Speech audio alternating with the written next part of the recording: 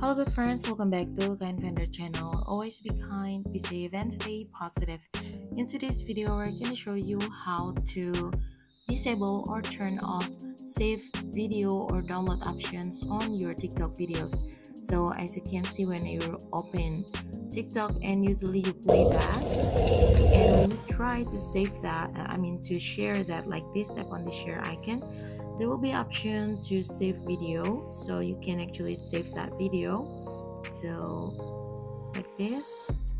So the video that you're watching will be saved to your uh, phone. So in this case you want to uh, disable that option. So by doing that by doing that your video will not be able to be downloaded so how to do that before we get started, please consider to subscribe to our channel and don't forget to turn on the notification. Thank you. Alright, so now let's get started. First of all, what you need to do is open your TikTok app. And as you want, you can actually disable the download option or save video option. You can go to your TikTok profile. And from your TikTok profile, there will be these three lines at the top right. And then go to settings and privacy. From settings and privacy, you can go to privacy. Scroll till you find there will be interactions and also there will be download.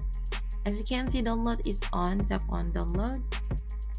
Alright, as you can see, it's on. So allow other people to download your videos and share downloads to other platforms. If this setting is off, a link to your video can still be shared. Now I will turn this off. I will disable these features so now there will be no options to save my video or to download my video on TikTok if I posted uh, if if I post a video. But still everyone can share the link to your video. So not um so for the share link it still works.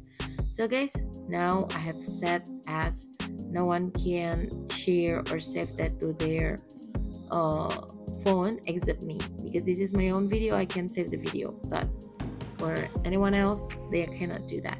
Alright guys I was how to disable or turn off download option on your tiktok videos. Thanks for watching this video. If you found this very helpful don't forget to hit the thumbs up button and share this to your friends. Once again thank you and good luck